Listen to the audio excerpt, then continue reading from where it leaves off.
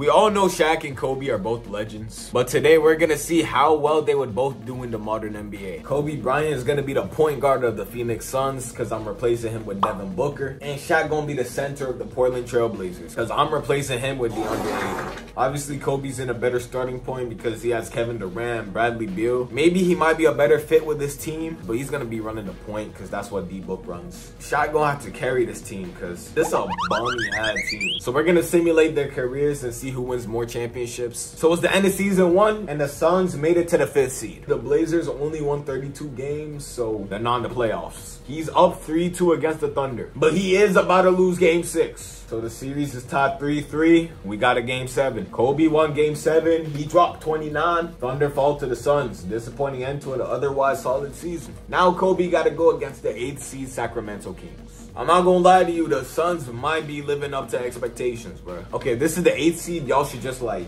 beat them in at least five games. And they're down 3-0. Yeah, there was no point. Y'all niggas got swept. So it was the end of season two. I got some good news and some bad news. So the Phoenix Suns did worse this year than they did last year. Probably because KD is getting older. They lost some good players. I don't know. But on the good news, Trailblazers are getting better. They're winning more games. Please don't get swept. Yo, these niggas are down 3-0. I'm disappointed in y'all niggas. What the fuck? Y'all have KD. Y'all have Kobe who's about to be in his prime. Nope. Kobe just getting cooked. All right, Kobe. Devin Vassell.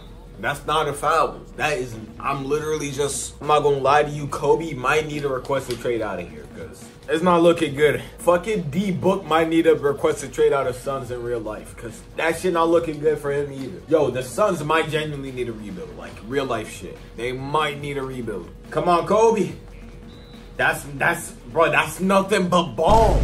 Pause. That's nothing but balls, bro. All I did was touch his balls. Pause on that. Nah, we challenging that. We challenging that. We're not losing because the Spurs are good. We're losing because the refs hate us. So it's the end of season four, and the Suns are the seventh seed, so they're back to the playoffs. And the Trailblazers are the sixth seed. But uh, here's some news, guys. Shaq dipped. He left to the Warriors, and they're the ninth seed. So we're gonna see if they can all make it to the playoffs. Fuck, I missed this game, nigga. I just want y'all to know Kobe got a shitty ass team. Look at this, nigga. We're gonna try to see if Shaq can win a chip. They're down 3-2. Let's try to jump in. Get the ball to Shaq. Oh shit, I actually fumbled. What the fuck?